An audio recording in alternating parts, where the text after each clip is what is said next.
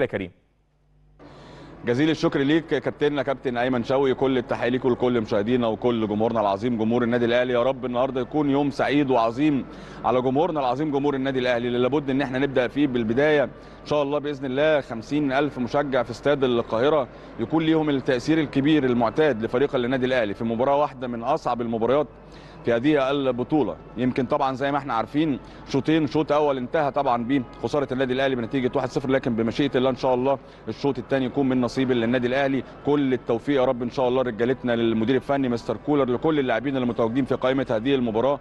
النهارده كابتن أيمن وبخبرتك الكبيرة أنت عارف اللي هيحسم هذه المباراة هي شخصية النادي الأهلي شخصية البطل قلب كل لعيب بشخصيته وبروحه وباجتهاده الكبير جدا وبحرصه الكبير جدا إن كل جمهور اللي يكون متواجد ده ما يرجعش زعلان. إن شاء الله بإذن الله هذه المباراة تحسم من نصيب للنادي الأهلي.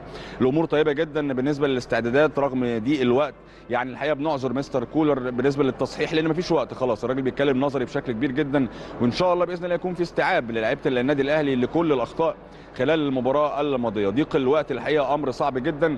لكن هو ده قدر النادي الأهلي. البطل لابد يواجه كل الصعوبات وكل المشاكل ويتعامل معاها بشكل جيد جدا. المباراة خلاص الأولانية نسيناها ولعيبة النادي الأهلي نسيتها بشكل تام.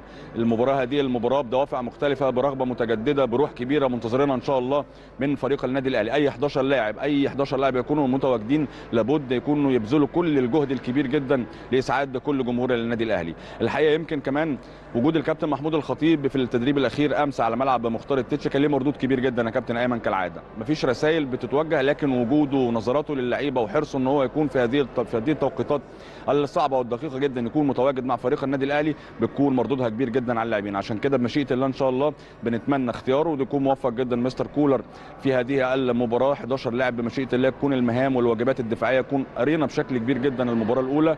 كل التوفيق يا رب إن شاء الله لفرقتنا. عندنا أمل كبير جدا إن شاء الله إن إحنا نتخطى هذه المباراة بالجدية الكبيرة المنتظرة من لاعبينا. كالعادة كابتن أيمن متواجدين في فندق الإقامة. اليوم الاعتيادي إحنا عارفين طبعا المباراة هتكون في تمام الساعة الثامنة. المحاضرة الفنية الأخيرة هتكون في فندق الإقامة. ومنها مباشرة التوجه إلى استاد القاهرة اللي هيستقبل مباراة اليوم الأهلي وماميلودي سان داونز في ال African League. يا رب إن شاء الله بإذن الله نتخطى هذه المباراة.